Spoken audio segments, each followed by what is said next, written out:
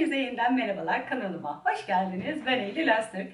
Size herhalde en son indirimde yaptığım alışverişlerimi paylaşmıştım. Ondan sonra gerçekten ben de çok fazla bir şey almadım. Hani böyle beğendiğim tek tük parçalar falan oluyordu ama hani bu dönem biraz daha yoğun oldu ve göstereceğim ürünlerin çoğu da yazın böyle üzerimde görebileceğiniz ürünler olduğu için hemen size böyle çok fazla bir parça olmasa da hemen sizinle paylaşmak istiyorum.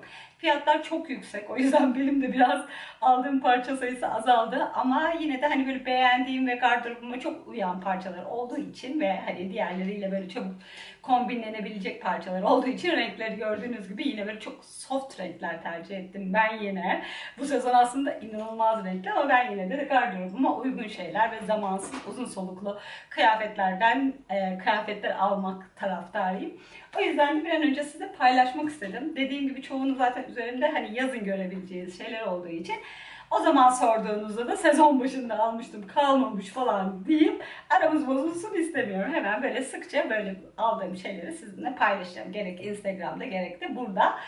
O yüzden hemen başlayayım size aldıklarıma. Hatta geçen sezon aldığım ama bu sezon yine olan ürünler de var. Onları da yine eklemek istedim. En azından onlarla da ilgili size biraz bilgi vereyim diye. Şimdi hemen geçiyorum. İlk parçam zaten bu. Keten Blazer. Zaten Blazer eşittir Eylül diyebiliriz. Yani bu sezon aslında yeni bir blazer almayı hiç düşünmüyordum.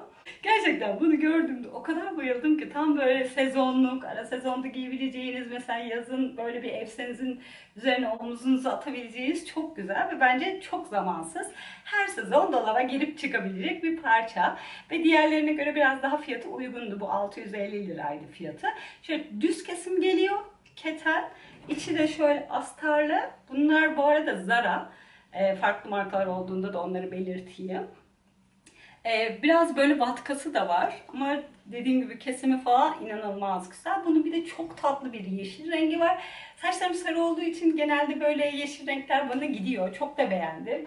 Ama çok da kullanabilir miyim bilemedim. Zaten keten bir tane haki blazerım olduğu için o yüzden onu almadım. Yine zamansız bir beyaz renkle karşınızdayım. Yine bir renk alarak risk alamadım. Geçelim şimdi ikinci parçaya. Bu ikinci parçam çok güzel bir keten. E, Bermuda short. Bunu ilk ses aldım. Beli tam oturuyor. Çok güzel. Zaten hepsini böyle giyeceğim zaten üzerinde göreceksiniz. Bu şortla ilgili sizin de bir fikrinizi alacağım. Biraz böyle uzun geldi bana. E, uzun olunca sanki biraz FDR şortu gibi oldu ama e, sanki bir tık kestirirsem boyu çok güzel olacak ama sanki modelini bozacak gibi. O yüzden giydiğimde lütfen bir yorum yapın. E, böyle mi kalsın yoksa biraz daha kısaltırsan daha mı şık olur diye. O yüzden bana bir yorum bırakın. Kararsız kaldım. Bunun rengini çok beğendim. Zaten bu tarz böyle bir blazerım da var benim. E, indirimde kaptığım. Onu da çok seviyorum ve bu sezon bu renkte keten blazerler de var. Almak istiyorsanız bu sezonun çok kurtarıcı parçaları. Şöyle bir short aldım. Yine Zara'dan şöyle basic'ler aldım. Geçen sene hatırlıyorum ben bunları böyle stok yapardım. 2-3 tane falan alırdım. Bu sezon yani böyle elim gitti geldi değer mi buna değer mi buna falan diye 250 lira çünkü olmuş şu. Ama e, tabii daha uygun fiyatları da var ama penye değil de böyle ince Türk olanları daha seviyorum. Bu bayağı bir ince. Hani içinizi gösterecek kadar değil ama hani böyle şey e, tam böyle jilet gibi duran atletlerden. O yüzden bu biraz parayı hak etti diye düşünüyorum. Böyle bir beyaz. Çok crop değil ama çok da normal uzunlukta değil. Biraz daha şey. E, bir de onun kare yakalısını aldım. Aynı trikodan değil ama bu da böyle lastikli. Güzel bir atlet. Böyle kare yakalı. Bunları böyle mesela hani blazerların içerisine, gömlek içerisine, işte jeanlerin üstüne falan her şey o kadar çok kullanıyorum ki. O yüzden de bu biraz daha uygun. Bu 120 lira diye biliyorum. O 250 lira maalesef. Şöyle bir kare yaka atlet aldım. Bir bakın. Ya boyutu tam olarak şöyle oluyor. Ee, ben bunu bir tık böyle kıvırsam. Şöyle. Bu sefer de o hafif camlara gidiyor. Sanki çok klasik bir şort gibi oluyor. Siz ne diyorsunuz? Kıvırayım mı? Yoksa şöyle bir bırakayım. Bu da böyle çok mu yaşlı işi gibi gözüküyor. Üzerindeki şeyi de giyeceğim. Bakın onun atlet o kadar güzel ki böyle hani tam böyle teninize yapışıyor. Çok çok güzel. Hem içte göstermiyor. İnanılmaz nefis bir kurtarıcı parça. İşte short için ne diyorsunuz? Sizden yorum bekliyorum. Mesela ben bu tarz böyle kombinleri genelde şeyde de kullanıyordum. Kurumsalda da kullanıyordum bu tarz böyle klasik görünümlü bermudaları. Açıkçası hoş duruyor. Üzerine şöyle bir blazer falan aldığınızda bence güzel duruyor. Yani hani şehir içinde de böyle çok kısa şort giymeyi seviyorsanız falan böyle bir bermuda alabilirsiniz. Hem de keten olduğu için bence nefis.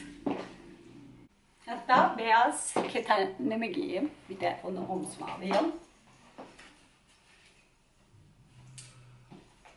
Mesela bakın beyazda da çok güzel oluyor. Şöyle altında sandaletler giydim. ince topuk, böyle küçük topuklu, daha gündelik. Hem spor hem de böyle şık bir görüntü oluyor bence.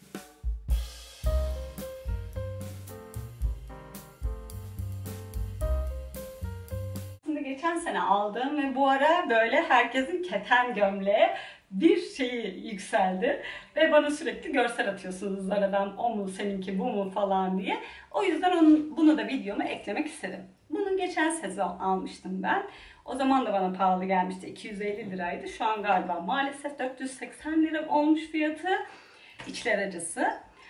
Ee, şöyle o yüzden detaylı göstereyim. Bu oversize bir kalıp. Bunu ben yeni bedenimi tercih ettim. XS aldım çünkü oversize dediğim gibi. Ve bayağı bir bol duruyor. Şimdi üzerime giydiğimde de göreceksiniz zaten. Herhangi bir cebi yok benimkinin.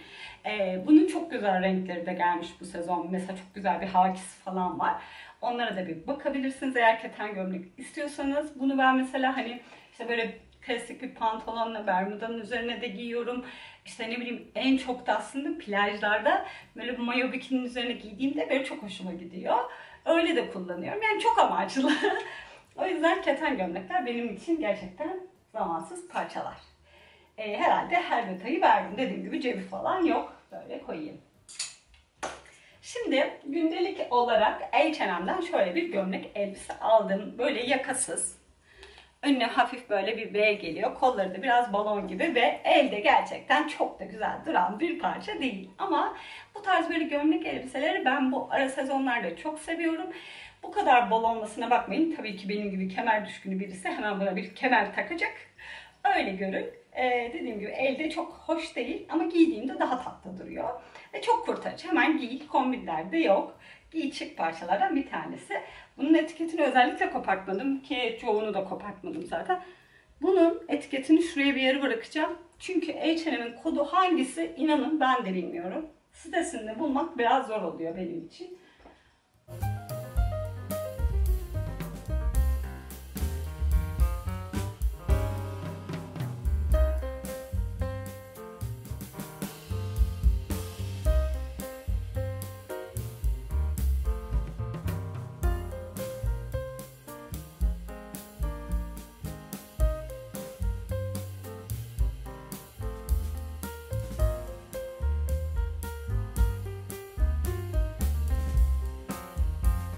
Şimdi çok sevdiğim bir parça göstereceğim. İşte bunu zaten dediğim gibi yazın daha çok üzerinde göreceksiniz. Bu aslında böyle ajurlu yani böyle kroşe denilen hani böyle çok delikli kazaklar gibi. Hatta bunun kazağını da almıştım ben. Ee, ve elbisesini çok beğendiğim için onu da aldım. Şöyle çok ince askılı, içiniz olduğu gibi gösteriyor. Böyle yanlarda örgüsü daha farklı, iki tarafında da böyle. Tam vücudunuza sarıyor. Ve gerçekten inanılmaz iç gösteriyor. Astar da olmuyor. Ama ben bunu ve sırt dekoltesi çok derin olduğu için zaten içine de astar giyseniz hani yine de gözükür arkadan ve hoş durmaz. Çok uzun, herhangi bir yırtmacı yok. Bunu zaten hani neden aldım bu kadar iç gösteren şeyi falan diye teşhirci değilim. Ama bunu şey, e, mayo bikiniler üzerine hani böyle mesela beach'e falan giderken bikinilerin üzerine e, giymeyi düşündüğüm için ve bikininin ipi gözükse de çok böyle hani abuk durmuyor. Ama bir sütyen veya işte içine şey giydiğinizde daha kötü duruyor. Hatta aslında böyle e, şey kullanabilirim. Mesela lazer kesim veya işte sadece göğüs petlerinden falan kullanıp mesela şu blazer'ım çok uzun olduğu için bunun içine de giyebilirim bence. Ee, hani göğüs yerlerini falan kamufle edip. Bence hoş durabilir yazın. Mesela kahverengi bir sandelette falan çok tatlı durur. O yüzden bunu çok sevdim. Rengi de çok çok güzel. Turuncu trikoyu da giydim ama şu an çıkartmayacağım çünkü olduğu gibi iç gösteriyor. Belki de olur ne olmaz kamerada gözükür diye şey yapmadım, riske almadım. Ama şöyle üzerinde bir duruşunu da görün istiyorum. Hani böyle trikosu çok güzel. Hani bayağı hani aslında ince bir triko ama çok böyle hatlarınızı kötü göstermeyen güzel bir şey. Böyle ayak bileğine kadar falan e, uzun. Dediğim gibi bikinilerin falan üzerinde giyeceğim bunu normalde. Şöyle sırtını da göstereyim. Sırtı da epey derin. Ve hani bronzlaştığınızda gerçekten çok güzel duracak bir renk. Şöyle bir göstermiş olayım. Aslında şu böyle uzun bir e, şeyin üzerinde, ay içerisinde böyle bir blazer'ın içerisinde de çok rahat giyilebilir aslında. Hani zaten üzerinizi çok çıkartmıyorsanız hani sırtınıza da aslında o göğüs petlerinden kullanarak çok rahat kullanabilirsiniz. Şöyle hazır çantamı alayım. Böyle bunu da göstermiş olayım. Yani göstermediğim bir şey kalmasın istiyorum. Ki iyice fikir edinin diye böyle. Ee, bir tane elbiseyi çok ayılarak bayılarak aldım ve kumaşını çok beğendiğim için aldım. Şöyle bir degaje yakası var böyle boyundan şeyli bağcıklı. Buradan gözükecek mi bilmiyorum. Kumaş o kadar güzel ki. Böyle hafif kendinden parlak duruyor. Bunu zaten alırken de hani çok böyle bronzlaşıp üzerimde daha güzel gözükeceğini düşündüğüm bir elbiseydi. Ama bunu sanıyorum iade edeceğim. O yüzden bunu giymeyeceğim. Ee, arkasında şöyle bir detayı var. Hani şöyle bir şey geliyor. Hafif bir çan. E, hatta ben mankenin resmini koyacağım size. Çünkü ben giymeyeceğim. Bunu XS aldım. Bilmiyorum benim üzerimde çok beğenmedim. İçinde herhangi bir astar yok. Beğenmeme sebebim şundan oldu. İçinde astar olmadığı için içine dikilen etikette, yandaki fermuarı da her şeyi ve dikiş hatları böyle pot pot durdu. Eteği altı çok kötü durdu. O yüzden beğenmedim. Bilmiyorum belki bu hatalı bir e, olabilir. Bazen çıkabiliyor biliyorsunuz. Belki mağazada yine bulursam eğer kaldıysa bir tane daha deneyeceğim. Çünkü çok beğendim. Kumaşı dediğim gibi gözüktü mü bilmiyorum. Böyle çok akışkan, böyle modal kumaşlar gibi. Ve böyle içinde simli ip değil de kendinden böyle parlak olan aşırı güzel ve yumuşacık bir elbise. Bu biraz üzdü. O yüzden galiba iade olacak. Bir tane şöyle bir siyah elbise göstereceğim. Şöyle arkası çapraz. Oradan gözüktü galiba. Jacquemus zaten bu tarz böyle elbiseler çok çıkarttı. Böyle yanları falan büzgülü, iki tarafından büzgülü. Derse elbiseler böyle vücudu saran. Ee, genelde bu tarz şeyler de mesela yazın yani akşam çıkacağım zaman hemen böyle giyip çıktım ve hani hem çabasız böyle şık gözüktüğüm parçalar olduğu için böyle bir şeyi aldım. Ama bence bu tarz bir elbiseyi Trendyol falan mutlaka yapacaktır. Şu gömleğim vücut.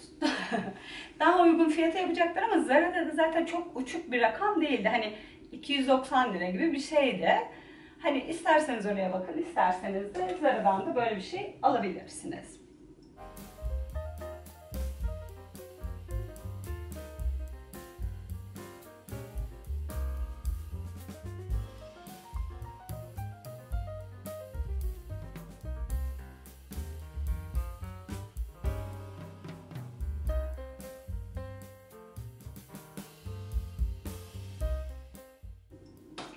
Ee, bir de Trendyol'dan şöyle bir short aldım.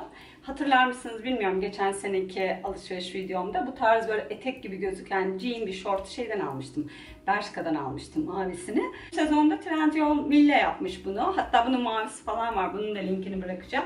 Çoğunu zaten bulduklarımın hepsinin linkini bırakacağım size. Böyle etek gibi duruyor. O yüzden hoşuma gitti. Bu tarz şeyler böyle e, yazın güzel duruyor açıkçası.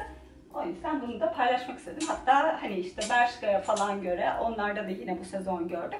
Daha uygun fiyatlı bunları alabilirsiniz.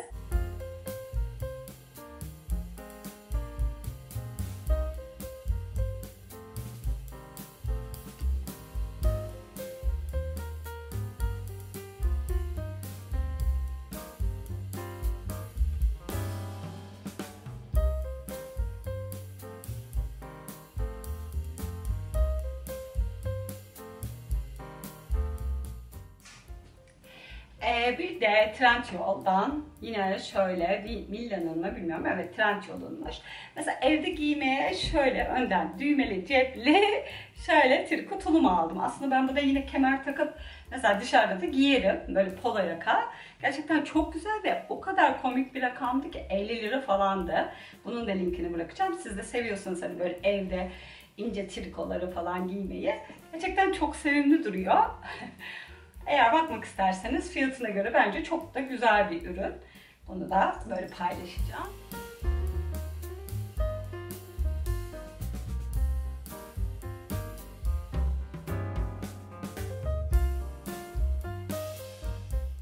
Ya bir tane de hatta bunu ben bir kombi videomda göstermiştim. Yine Trendyol'dan aldığım şöyle önü kare yakalı şöyle bir tulum almıştım. Bu da böyle penye çok güzel vücudu sarıyor ve o kadar yumuşacık ki bu da mesela hani fiyatı yüksek gibi gözüküyor ama böyle kupon falan tanımlandığında çok komik bir rakama giriyor.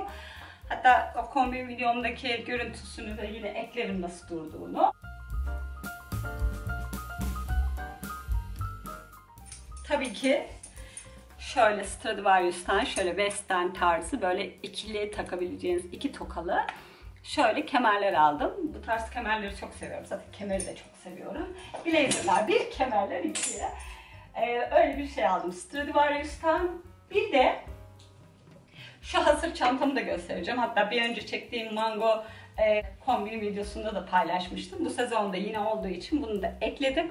Oldukça büyük, gerçekten çok sevdiğim bir çanta. Özellikle böyle yazın falan baharda bence hasır çantalar benim favorim. O yüzden çok seviyorum onları. E, bunda da şöyle detaylarını anlatayım. İçinde herhangi bir astar yok. E, sadece ağzında şöyle bir büzgüsü var kesesine. Bazen içine böyle küçük bir portföy çanta gibi bir şey koyuyorum. Hani dağılmasın falan diye. Öyle. O yüzden bunu gösteriyorum bu sezon. Maalesef bunun da fiyatı inanılmaz artmış. Her şey çok çok uçtu. Ee, bir de bunu daha geçen gün zaten yeni e, şeyde göstermiştim, story'de göstermiştim. Böyle günlük giymeye de şöyle bir tote çanta aldım. Bunu Pull birden aldım. Hatta story'me ekledim. H&M'de de bunun daha açık rengi, beyazı ve siyahı var. Orada 50 lira. Daha ucuz Pull birde da 299 lira ama günlük kullanmayı hiç seviyorum açıkçası böyle file tarzı e, işte tote çantaları.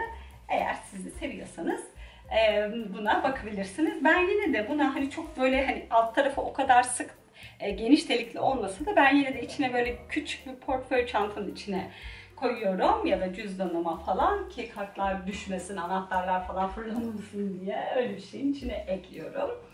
Bir de aldığım iki çift ayakkabı var. Onları göstereceğim son olarak. Ee, bunları zaten story'imi izleyenler gördü. Şöyle e, topuklu bir sandalet aldım. E, böyle bilekten kemerle tokalı. Bunun topuğu çok böyle e, ince değil, biraz daha genişlediği için çok rahat kullanılabiliyor. Tabii gerçi henüz dışarı çıkmadık ama ve içleri de böyle hafif dolgulu gibi bu sezon Zara'nın ayakkabıları. O yüzden çok sevdim ve tabanları ve dolgulu olduğu için ayağım çok rahat oldu. Hatta bir tane de bir sneaker aldım. Onu da göstereceğim. İçi inanılmaz rahat. Bunlar da yine öyle rahat olacak diye düşünüyorum. Çok yüksek bir topuk değil ve çok zarif. Mesela bütün buradaki kıyafetlerime çok rahat uyacak bir ayakkabı. Bir de yine böyle ayakkabılar videomda zaten çok beğendiğimi belirttiğim bir sneaker aldım. Ee, şöyle dili zebra desenli. Hafif böyle bej rengi. Arkasındaki şu yeşil detayı falan çok hoşuma gitti. Tabanı daha biraz daha kalın diğer sneakerlara göre. Ee, ve bence dili de böyle düşük olduğu için biliyorsunuz bu dil çok yüksek olunca sevmiyorum. Dediğim gibi böyle bacak boyunu falan kesiyor. O yüzden bunu çok beğendim. Bunun da yine içi dolgulu bir taban. O yüzden ayağım inanılmaz rahat etti. Bu arada e, Stiletto'da tam numaramı aldım. Bunda bir beden küçük aldım. 36, 37 giyiyorum normalde. Bunu da 36 tercih ettim. Daha iyi oldu. Çünkü 37'nin burnunda bayağı bir boşluk olmuştu. Onu da öyle belirteyim. Ve böylelikle videomun sonuna gelmiş olduk. Son zamanlarda yaptığım alışverişler bunlardı. Eğer yine yeni şeyler alırsam gerek Instagram'dan ya da burada mutlaka size hani paylaşırım, gösteririm onları da. Kanalıma abone olmayı ve videomu beğendiyseniz beğenmeyi lütfen unutmayın. Yeni videolarla görüşmek üzere. Hoşçakalın.